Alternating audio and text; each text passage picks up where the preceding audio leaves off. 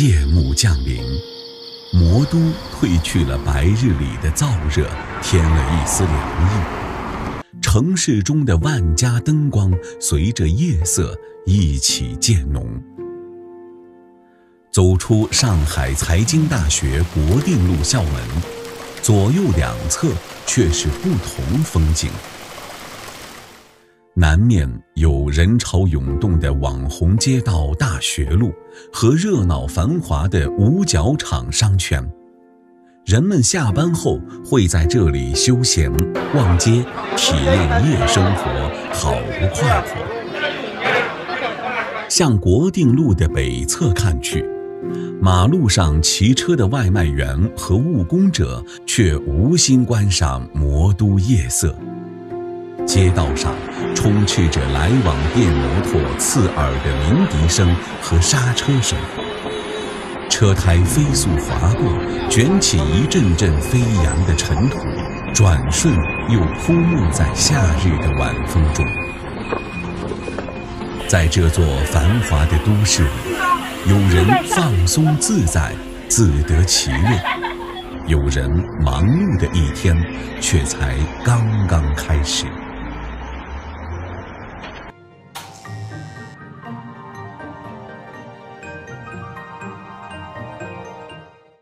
老倪烧烤店的招牌在夜色笼罩下显得晦暗不明。走进店铺内部，店面面积不大，除了店主，店内还有两个伙计在帮忙。客人都称呼店主叫老倪，他今年三十五岁，来自河南省周口市神州县。我姓倪，就是倪萍的倪，但现在好多人就是啥不记得了，因为倪萍现在这个人，年轻的这一代都不知道，因为这是零零后的是吧？老倪从零四年来到上海给别人打工，到如今自己出来单干，在这座偌大的繁华都市漂泊已有十七个年头。您是那是零几年？是零四年的时候对吧？那时候我还想上初三呢，知道吧？就我那时候我那个。就是老我一个一个地方的，知道吧？一个地方的，他那时候他在上海，知道吧？他给别人打工，知道吧？那时候他都打电话给我说，跟我说，他说你要不要出来，知道吧？那时候我感觉到在学校里也天天就是直接说了，也没学习本来不好嘛，也就是感觉到没啥再读下去了，知道吧？那时候正好他一个电话，然后我就来上海了。我刚出来头头几年三年，过年都没回过家。近几年，老倪和几个一同来沪的伙计开起了烧烤店。看见有客人进店，老倪便露出朴实的笑容，眼睛笑得弯弯的。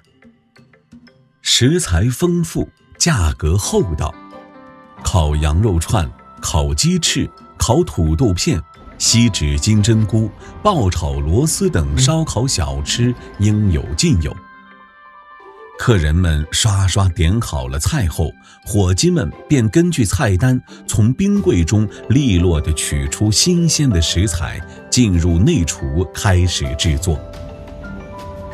内厨十分闷热，师傅将炭火铺开，燎上来的热气扑了人一脸。搭上铁网，放上烤串，刷上一层油，翻面。再刷上一层油，如此反复。烤串发出滋啦滋啦的诱人声响，金黄赤红的肉冒着亮晶晶的油光。土豆馒头是微焦脆香，鸡胗里脊是滋滋流油。最后再撒上一层辣椒面，孜然粉就大功告成。师傅将烤串放入铺有吸油纸的铁盘内，乐呵呵地端到客人的桌上。那我们是下午三点半就起来了，一直到晚上凌晨，一直到凌晨大概五六点钟就才开始整体的关门。然后回家洗睡觉的时候就是七八点了，相当于。吃烧烤怎么能不喝酒？拿起子，噗的一声开瓶啤酒倒入杯中，一口酒。一口肉，嗦个螺丝，年轻人谈天说地，中年人闲唠几句家常。老倪烧烤店让人们紧绷的神经下了弦。因为心疼妻子跟着自己受苦，老倪决定让妻子回河南老家照顾孩子，自己一个人留在上海挣钱打拼。没了妻子的陪伴和照顾，老倪觉得日子越发难熬了。但是为了家中的妻儿，他不得不独身一人照看店面，为了一家老小奋斗。之前的那啥，因为那边就是赶疫情了嘛，就是疫情，就是生意那不是特别好的，每日城那啥那个房租本来就是房租贵嘛，承受不住了，所以那边就。关门了，然后我们这边就没法做了。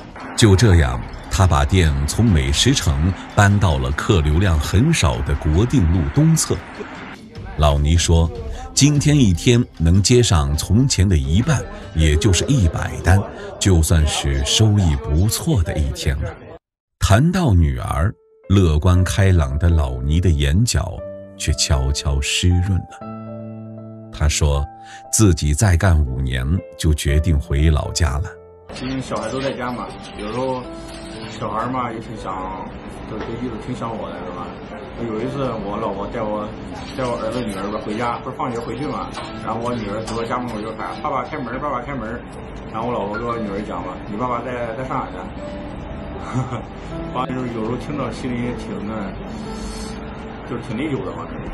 这这不女生说了不说，真的。”对于他而言，老婆孩子热炕头的家才是永远温暖的港湾。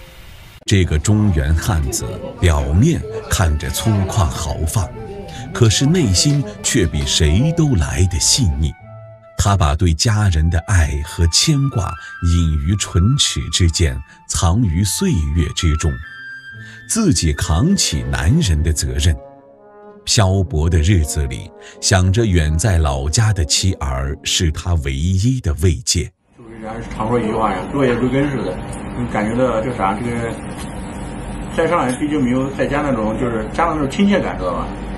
就是有时候感觉在家里嘛，就有什么事儿了，就是他不管是开心的或者不开心的嘛，事儿吧，在家里都有人，就是大家在一起喝酒了，就等于唠唠。就是在上海就不一样了，你你看这一天到晚就是忙碌着，感觉到。就是多余的空间时间好像就是没有了，就相当于一千个烧烤摊上就有一万种烤串，一根根精心穿制的烤串，经过炭火的烤制，色泽鲜美，完全保留了食材的美味，烧烤的焦香层次感分明。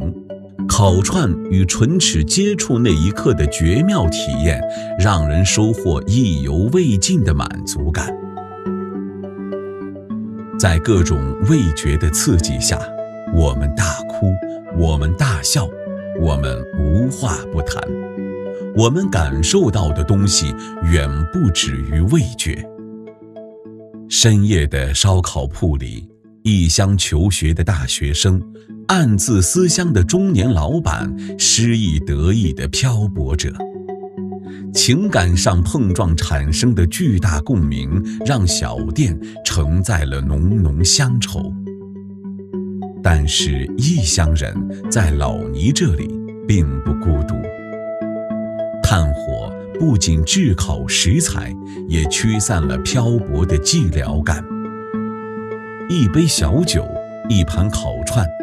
小店的烟火气中满是对未来的期待和热爱。走出老倪烧烤店时已接近凌晨，老倪掀开帘子，热情地送客人出门。原本嘈杂的街道早已安静下来，透着无声的静谧。浓浓的夜色映得老倪烧烤店的灯光。温暖而明亮，老倪，再见，我们下一次再见。